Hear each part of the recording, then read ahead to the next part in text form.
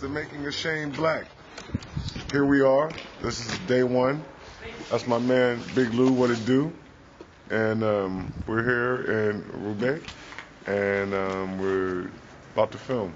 In a little bit, we're setting up all the lights. Everything's going good.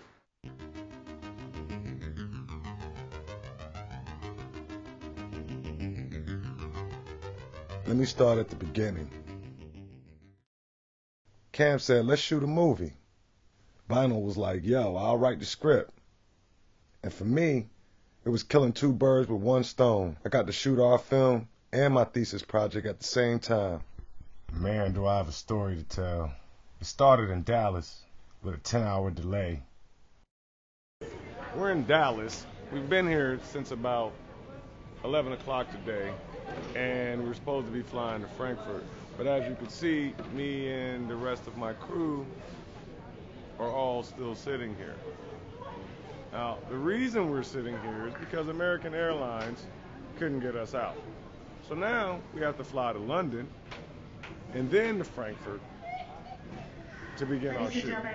So until then, you know, I'll just keep giving you guys posts and letting you know what's going on. All right, peace.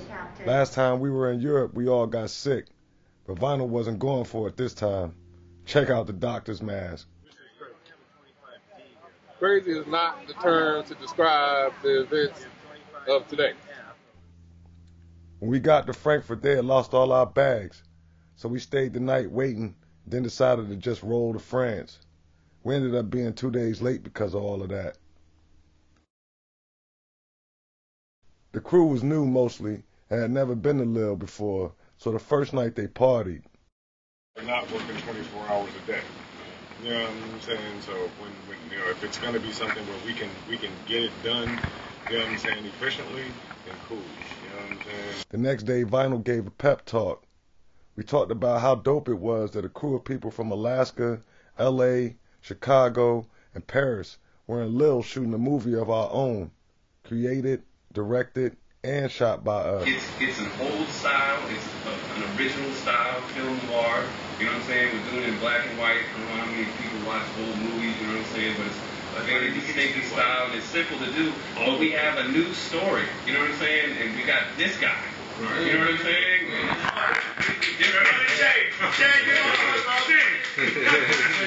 Shane, you my boy, Shane. I can barely hear you clapping over the voices in my head. I appreciate what I almost heard. It felt like the world was flying by. Out here, Lille, France.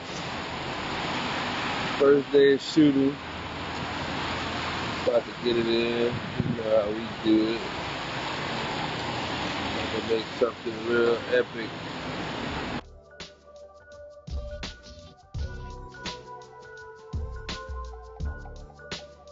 The scene we shot had Mike throwing a dead girl into a crate and Lou holding Shane and Julie at gunpoint. That scene took a couple takes. So while Vinyl got everybody in their right places, the rest of the crew, we had a little bit of fun.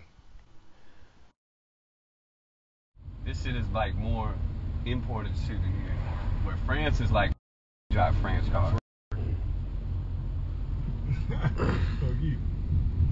After 300 meters, leave the roundabout at the second exit for the N21. I said Jerome, Jerome, Jerome. I said Jerome in the house. I said Jerome in the house. I will watch mouth. This is Cafe Central in Brussels. What it do? We out here, Brussels today. Cafe Central had a dual purpose. One, we had a show, and we had a scene to shoot while they were doing the show. Shane's a rapper in the movie, and the Shadow Hunters had shows scattered through the time we would be there, so we knew we'd be shooting.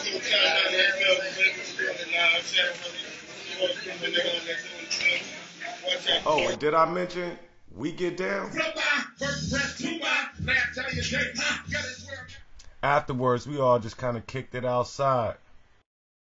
It was cool watching Cam work the crowd. As a filmmaker, you always wish for something. But Vinyl was real chill about it. I Wish we had more time to do proper setups and uh, I wish I had uh, Nah, you know what? I don't wish for anything because what it's supposed to be is what it is right now. So that's what we're gonna roll with. Next morning, we were right back at it. Second day of shooting, man, and we still pushing. We went to party last night. I had a blast. You know what I'm saying? Now I'm up. It's 10 o'clock in the morning. I done got my coffee in me. I got my cigarette. I'm feeling great. I got my my little brother Malvin behind the camera. I'm doing, I'm doing the most. You know, it's nice out. It's not raining. You know what I'm saying? It's not as cold as it's been. So we kicking it. We're gonna go to La Monterey and uh, shoot some more. We'll see y'all on the other side. We shot two scenes inside La Monterey and did a show. Then we went and shot a scene with Shane's being chased by a villain. We had to make smoke for a scene we were shooting at the warehouse. Now the easy way to do this is dry ice, but dry ice is illegal in France. So Livewire Lou, the crew's impromptu handyman, came up with a solution. You know that smoke is going. Right, Look, right, my fog juice is on point. right. Most noir films contain a Dutch angle shot, so Vinyl and I were always looking for a place to put one in at. Four. We're just gonna pick it up from here. So it's basically a. Uh, Like you got it. Is it oh, that's the that's the one that's by the Dutch, or did you scratch it? yeah, I was thinking about that, but I don't know that we can do that on the dock. Lou's makeshift smoke added that missing element that we needed. Malwin, or Mr. Johnny on the spot as we called him, was always running. Vinyl would ask him to do something, and before he could get it all out, poof, Malwin was gone. As for Cam, I'm sure he felt like he was getting worked to death with all the shows and the shooting, but he was always laughing and joking in between. The next night, we shot in this mini mart called Casino. Malwin played a grumpy cashier. And Lou, well, we all know Lou. Lou just played. That's how he got the name Live Wire Lou. He had a way of keeping everything lively and fun. The last shoot was at the house we rented.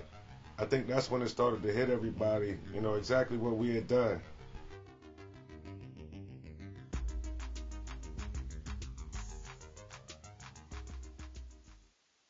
We had to kill Wingate catch the train from Paris. He played the mastermind. And who else would play his goon? None other than Livewire Lou himself. We wrapped that night. We got on the road the next morning. We were all going back to our normal lives. But what we had done here would live forever. It's me, Marsh. I got my man Marv here. Hello, everybody.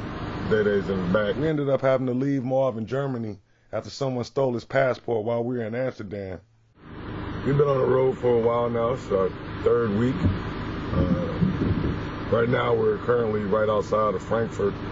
We just dropped vinyl off. Uh, Michael Ryan, the director of the film Shane Black. Um, now we're on the road. We're heading to Amsterdam. He made it back a day later, but I'll tell that story another time. I'm sure you'll be seeing more of us in a minute.